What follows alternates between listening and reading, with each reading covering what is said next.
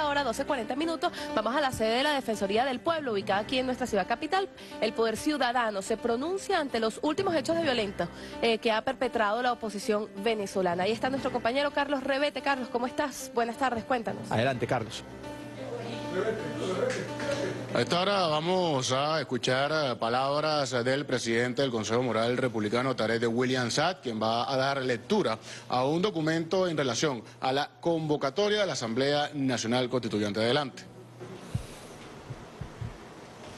Muy buenas tardes para todo el pueblo de Venezuela.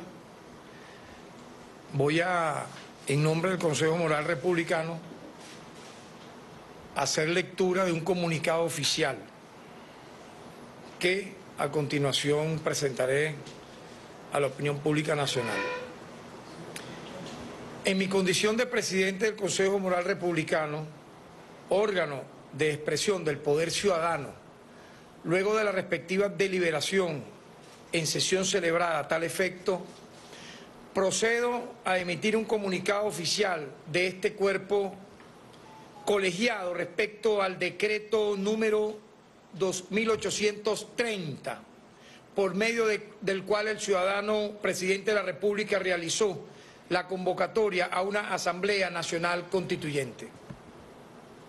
El Consejo Moral Republicano reafirma que el único camino para la vida en sociedad es el diálogo y la paz, que la violencia y el enfrentamiento no pueden ni deben ser los mecanismos para dirimir las diferencias entre los venezolanos y venezolanas.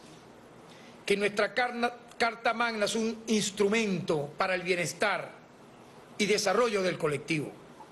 Por tal motivo, puede modernizarse y adaptarse fortaleciendo el espíritu democrático, participativo e incluyente.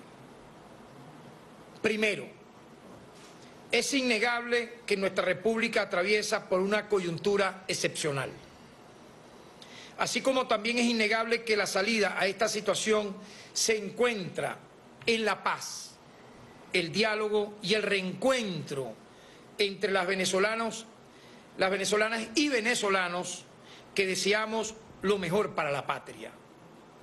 La violencia y el enfrentamiento no pueden ser los mecanismos para atender a esta situación, pues solo generan dolor y desencuentro.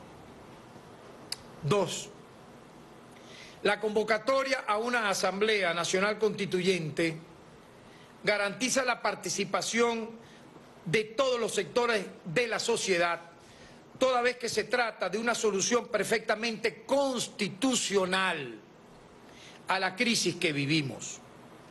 Pues su convocatoria por el presidente de la República se encuentra prevista en el artículo 348 de nuestra Carta Magna.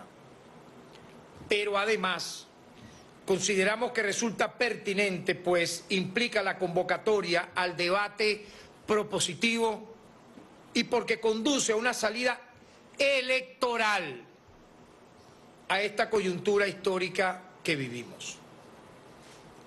Tercero, nuestra Carta Magna fue diseñada como instrumento para el desarrollo de la persona y el respeto a su dignidad. El ejercicio democrático de la voluntad popular, la construcción de una sociedad justa y amante de la paz y la promoción de la prosperidad y el bienestar del pueblo. Como carta común a los venezolanos, también fue diseñada para modernizarse y adaptarse a los nuevos tiempos como los actuales. Cuarto, por ello, en su articulado se encuentran previstos los mecanismos para su enmienda, su reforma o incluso para su total transformación. Debemos recordar que estos mecanismos ya fueron utilizados por el presidente Hugo Chávez en dos ocasiones. La primera, en la propuesta de la reforma constitucional del año 2007 y la segunda, en la enmienda constitucional realizada en el año 2009, aprobada esta vía referéndum. Quinto, consideramos que la actual convocatoria es una oportunidad única que debe adelantarse con la consulta a todos los sectores de la sociedad sin ningún tipo de discriminación y que debe en su conformación reflejar la diversidad de nuestra nación y asegurar la participación activa del país tanto en sus debates como en sus resultados. Para ello, las bases comiciales deben tener deben permitir que toda la población venezolana se vea fielmente representada en ella.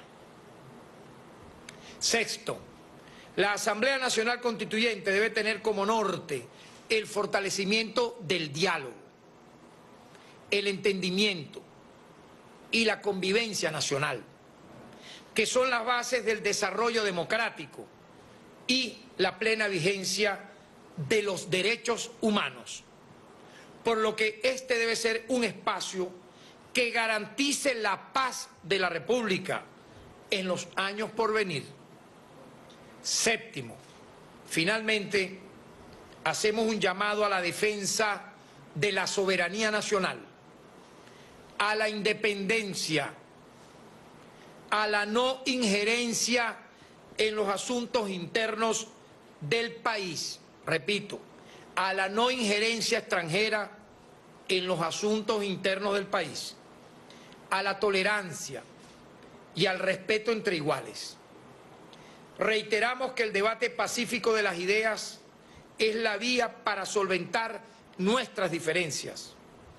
Este precitado mecanismo constitucional, con la activa participación de todos y todas, es una gran oportunidad que no debe ser desaprovechada por ningún sector del país en aras de avanzar hacia el futuro de inclusión y prosperidad que todos y todas deseamos. Caracas, 22 de mayo del año 2017. Escuchábamos entonces palabras eh, del presidente del Consejo Moral Republicano, Tarek eh, William Satt, quien ha dado a conocer este importante documento.